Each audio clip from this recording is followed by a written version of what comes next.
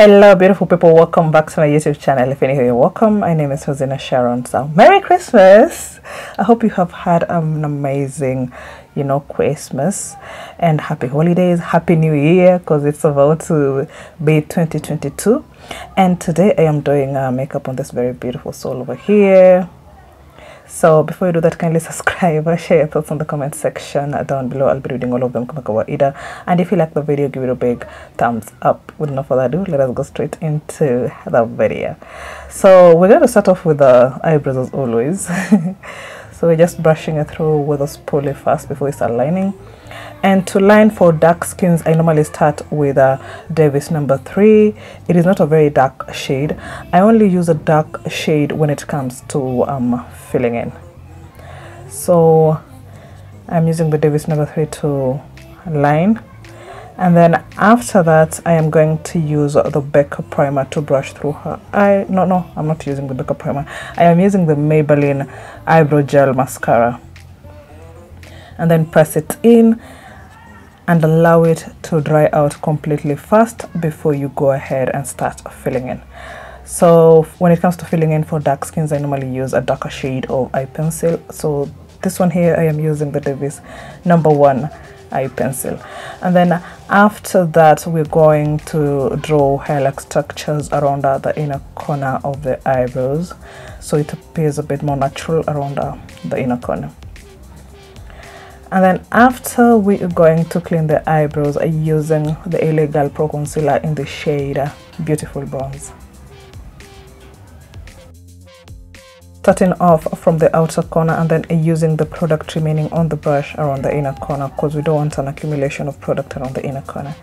And then on the upper side of the eyebrow we're going to use a foundation.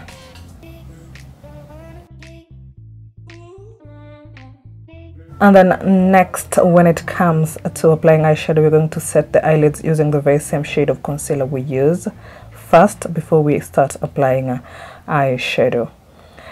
And uh, for today's eyeshadow, we wanted to focus the transitioning shades around uh, her upper lid because uh, the eye makeup we're going for, um, I don't know whether to call it a cut crease really but uh, we just wanted the focus to be on the eye makeup today because she has very very beautiful eyes and we wanted to enhance that if that makes sense. And then uh, we're going to blend it in uh, with an orange uh, red orange shade. All the products used on this um, tutorial will be on the description box so if you want to see the products kindly check the description. And then around the crease region we're going to use the P. Louise eyeshadow base in the shade number two. First at first, I did not want to create a cut crease per se, but I ended up doing a cut crease regardless. So, yeah. When it comes to drawing a cut crease, do not drag your brush around. Tap, tap, tap until you get that desired shape you wanted to go for. And then after that, we're just going to apply the shade of eyeshadow on the crease region. I wanted to start off with the matte shade first before I apply glitter on top of it. I normally don't like mixing shimmer with glitter, it becomes too much. When you do matte then shimmer on top of it, I mean then a glitter on top of it, it looks amazing. And then around the inner corner we're going to use a brighter shade and then blend it in to the first crease shade so it appears as one, it does not look like two separate entities. and then after that we're just going to blend in at the edges of the crease the cut crease. So at least the whole eyeshadow is blended from top to bottom.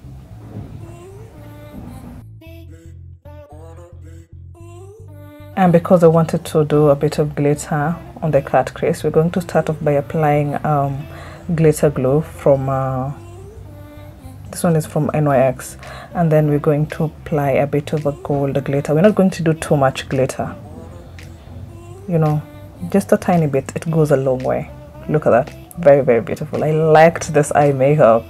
And then after that we're just going to do an eyeliner a black eyeliner first for her.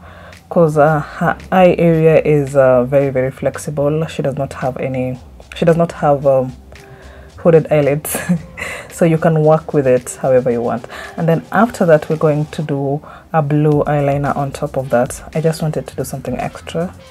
And the blue looked amazing so I decided to do a blue eyeliner on top. And then we're going to apply falsies next. I normally do this after I have applied mascara. I forgot to put that part on the video sorry.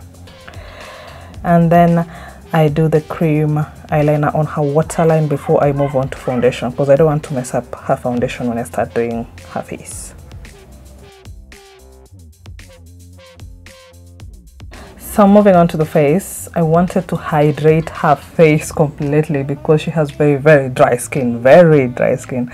So I started off with the ordinary hyaluronic acid, sorry, on her bare face, bare, bare skin and then allowed it to set first and then after that I applied a lot of moisturizer and sunscreen.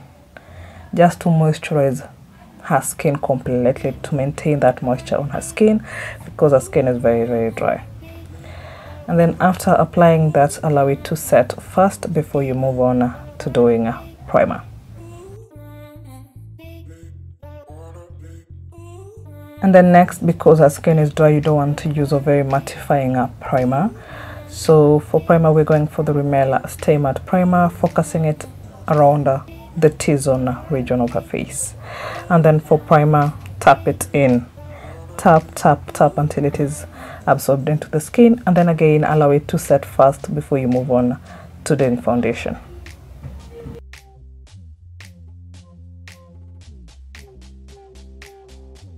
So next uh, for foundation we using the Maybelline Superstay. I mixed two, mahogany and uh, dark cocoa, just to get her perfect shade. Because one was too dark, one was a bit brighter, so I had to mix the two. And we're going to blend it in using a brush.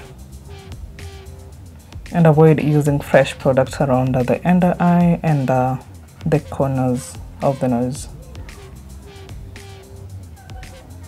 And when it comes to blending tap it in okay? Tap your brush in don't move move, move your brush around sorry.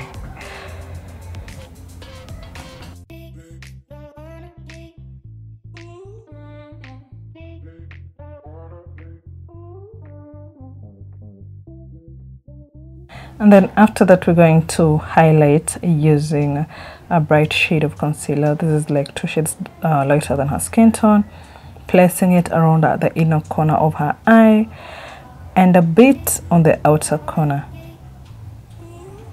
Little product goes a long way so please avoid using too much product especially when it comes to highlighting with concealers. Anytime you're using a concealer avoid using too much product.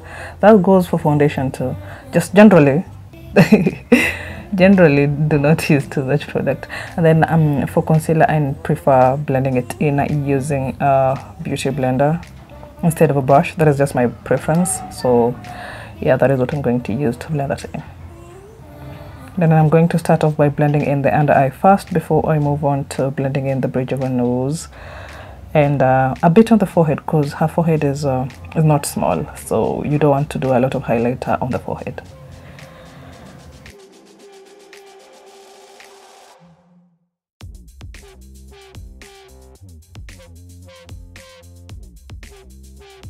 and then after that we're going to use a cream blush for this for her skin type. I'm using a red undertone because it goes well with dark skin. And then uh, after that we're going to set in the areas where we highlighted using a concealer. And please set all the areas you highlighted using a concealer. That goes for the bridge of the nose forehead and if you did a bit of concealer around the mouth please set it in and for her I am using uh, the Maybelline finishing powder in 355 to set. And then after that we're going to contour. And that nose contour was looking good. Let me just tell you. It was looking good. And make sure you um, clean it out using a clean brush. Blend it in using a clean brush so you avoid having very harsh lines around uh, the nose contour and uh, remember to contour your forehead as well. Then after that we're just going to set the whole face using a setting spray. I am using the elf dewy setting spray because her skin is uh, dry. And then for highlighting i'm just going to highlight the bridge of her nose and a bit on the cupid's bow. I'm going to do highlighter on her cheeks. For the lips i started off with a black lip liner and uh, did a bit of a, a very subtle nude on the lip because I did not want uh, to do a very bold lip for her. Not to contradict her eye makeup because her eye makeup is looking amazing. So this is our before our models before. And uh, here is her after. I hope you enjoyed watching this whole tutorial. I wanted um, a very I don't know very beautiful eyes very subtle lips. I don't know what how to call this look but she looks amazing in my opinion. So thank you so so much for watching. Let me know what you think about this whole look in the comment section and i hope you have learned something. Thank you for watching. I'll be seeing you on our next video. Bye